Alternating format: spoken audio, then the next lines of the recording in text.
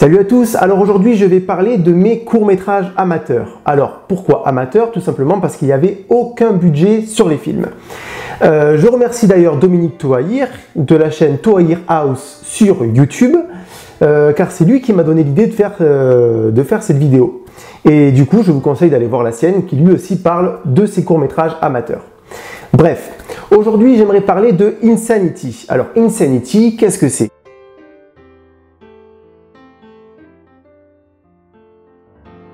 Pour euh, vous parler un petit peu de la genèse de ce film, en réalité je sortais, euh, j'avais déjà réalisé d'autres courts-métrages avant ça, qui étaient quand même beaucoup plus amateurs, on va dire.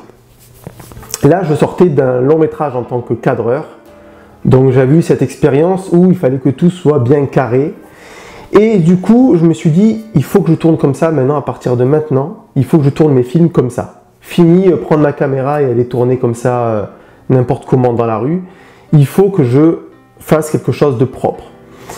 Et donc voilà comment on est arrivé à Insanity. Euh, oui, avant de faire des vidéos YouTube, je, euh, je cadrais ou je réalisais pour d'autres réalisateurs et je réalisais moi-même pas mal de courts-métrages. D'ailleurs, entre-temps, j'ai réalisé un long métrage, euh, ça fait presque 3-4 ans que je suis dessus, et il sort en janvier. Pour l'histoire, pour faire très simple, c'est un couple qui fait appel à, à, la police hein, pour, euh, pour régler, on va dire, ces problèmes de voisinage.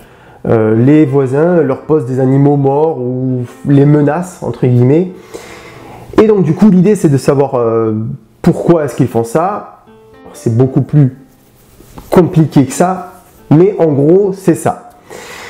L'idée, c'est que, en gros, le couple, ou plutôt le mari, a gagné au loto il y a euh, tant d'années, on ne sait pas exactement. Et apparemment, quelqu'un lui en veut, quelqu'un, selon lui, veut s'en prendre à son argent. Alors, c'est un film qui est euh, teinté de fantastique. L'histoire, c'est surtout le mari qui devient paranoïaque, qui a l'impression que tout le monde lui en veut, euh, et la femme qui essaie de supporter ça. Il faut savoir que le film se passe dans un monde imaginaire.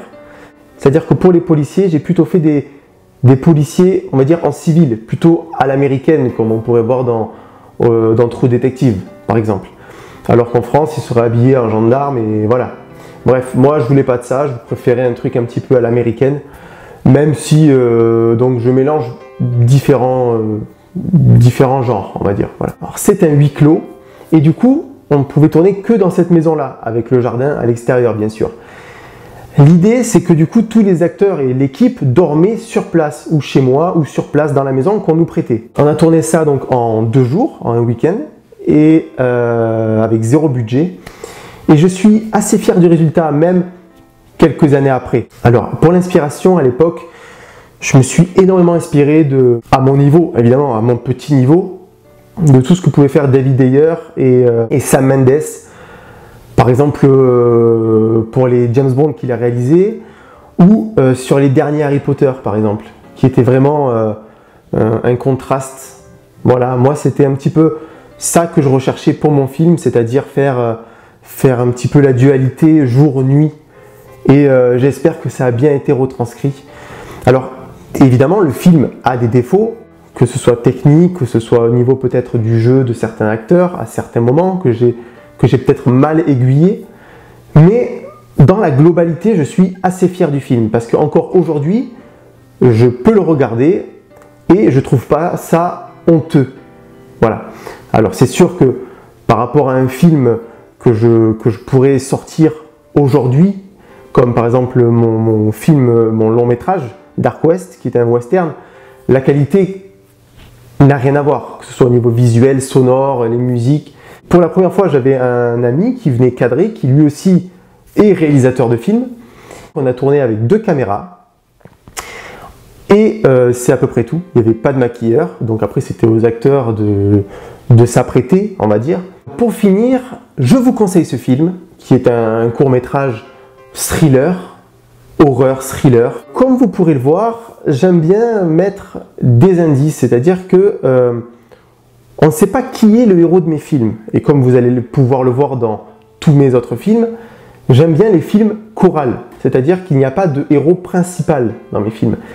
Et ça, c'est important. C'est très important pour moi parce que j'aime faire mes films un petit peu à la manière d'un Alien de Ridley Scott. C'est-à-dire qu'il y a beaucoup de personnages et on ne sait pas qui va survivre à la fin.